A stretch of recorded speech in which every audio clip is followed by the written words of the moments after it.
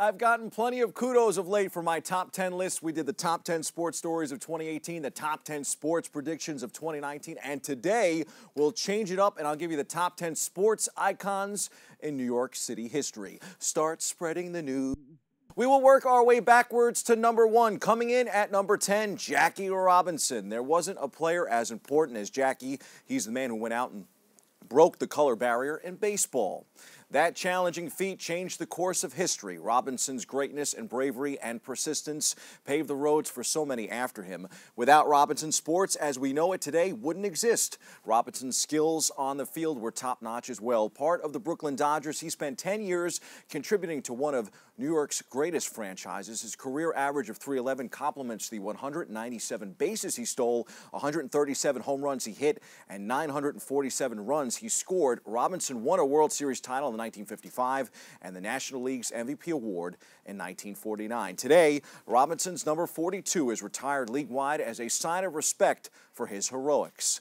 We move from Brooklyn to Queens and the ninth spot. There's one New York Mets player who has to be featured, Tom Terrific, Tom Seaver. Seaver is the greatest pitcher in the history of the organization. During the 12 years he spent with the Amazin's, he won 198 games and three Cy Young Awards. His 2.57 ERA was proof of how he was able to control a game with his command. The Mets have had a lot of pitchers come through the doors over the years, but none was quite like Seaver. He was part of the Mets' inaugural championship in 1969, winning 25 games that year, the Miracle Mets. Walt Frazier defined style in the Big Apple as one of the best point guards in the history of New York basketball. Frazier steered the ship during the Knicks' championship quest in 1973. His career averages are very respectable at 18.9 points, 6.1 assists, and 5.9 rebounds per game. Frazier's legacy, though, in New York City goes further than the stat sheet. He was part of the last Knicks team to win an NBA title. These days, Clyde spends his time wearing unconventional suits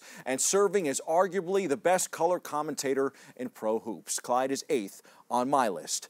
Derek Jeter spent 20 seasons playing shortstop for the New York Yankees. The captain ended his illustrious career in the big leagues with 3,465 hits, a 310 career batting average, and five gold gloves. More importantly, he was a winner. Jeter won five World Series titles and played in seven fall classics. In an era intertwined with steroids, Jeter was a beacon of light. There may have been better Yankees statistically speaking, but few will be remembered like Jeter. Jeets is seventh on my list. At number six, the cutter. I mean Mariano Rivera. Mo's dynamic cutter and control from the mound allowed him to play for 19 years in the Bronx. Building a Hall of Fame resume on the back of five championships, Rivera walked away with 1,173 strikeouts, 652 saves, and a career ERA of a measly 2.21. There may never be a closer quite like him again. Rivera blew only 80 saves during his entire career. That ratio is staggering. That means 89.1% of the time he got credited with a save. The Sandman takes my sixth spot and foreshadows many more pinstripe legends to come. Do you want to strike fear in the hearts of men? Our next athlete did just that. Back in the 80s and early 90s, all you had to say was two letters, LT. To this day, Lawrence Taylor is the most disruptive and aggressive defensive player in NFL history. He changed the outside linebacker position and did it all wearing the New York Giants blue. Taylor's 132.5 sacks may be the second most in Giants history behind Michael Strahan, but that doesn't mean he wasn't the most commanding player in team history. Many who watched him play would tell you that LT was the greatest defensive football player to ever live. Two Super Bowl rings later, and Taylor is number five on my list. Coming in at number four, the Mick was the epitome of baseball in the Bronx. He was 5'11", 195 pounds of sheer power. During his 18 seasons in pinstripes, Mickey Mantle blasted 536 home runs, knocked in 1,509 RBI, and finished his career with a 298 batting average. He won the Triple Crown in 1956, three MVP awards, and capped it all off with four straight seasons as the number one ranked player in WAR, wins above replacement, a stat used today. Of all his accolades, that could be the most impressive one in today's scope. He'll be remembered most for mythological home runs and for playing in 12 World Series and winning seven. But at the end of the day, Mickey Mantle will be remembered as one of the greatest players in New York sports history.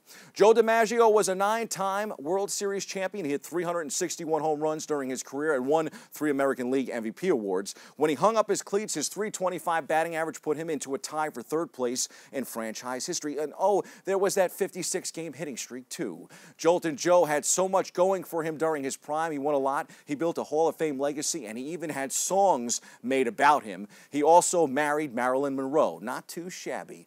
DiMaggio is a vibrant, immortal piece of sports history. Lucky for everyone who lives in New York, he did all of those great things in pinstripes. DiMaggio's final season, 1951, was Mantle's first. How about that transition in center field in the Bronx? Joe D takes number three on my list of greatest sports icons in New York history.